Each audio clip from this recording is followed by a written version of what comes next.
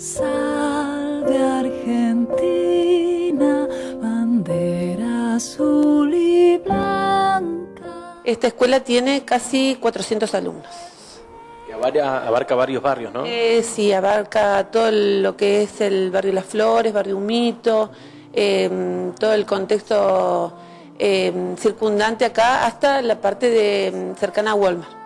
Eh, ¿La comunidad cómo es la participación? ¿Padres, docentes? Eh, la comunicación dentro del contexto social es muy buena. Eh, nosotros también formamos parte de lo que es la escuela Nina, eh, así que eso ha traído mm, un crecimiento en la matrícula, ya que tenemos los talleres en los que trabajamos y los chicos se ven muy beneficiados porque eso hace también este, que participen del comedor, ellos desayunan, almuerzan y meriendan acá, o sea, los que hacen escolaridad de mañana son los talleres de tarde y viceversa, así que este... Eh, muy buena la repercusión que tenemos, es un contexto social difícil, pero lo vamos abordando, trabajando los valores y gracias a Dios no hay eh, mayores problemas en cuanto a esto. ¿Cuál es la importancia que reciban un símbolo como es la bandera?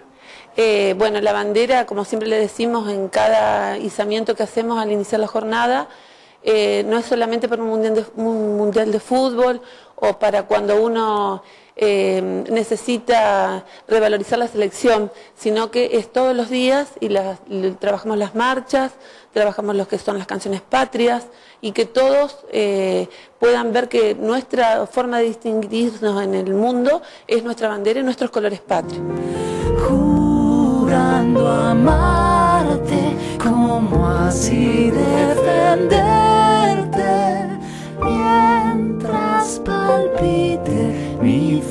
corazón.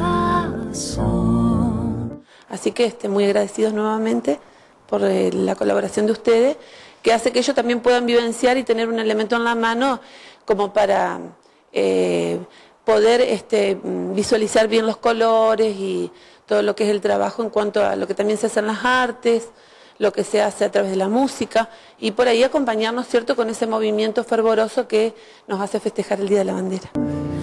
Mientras palpite mi fiel corazón.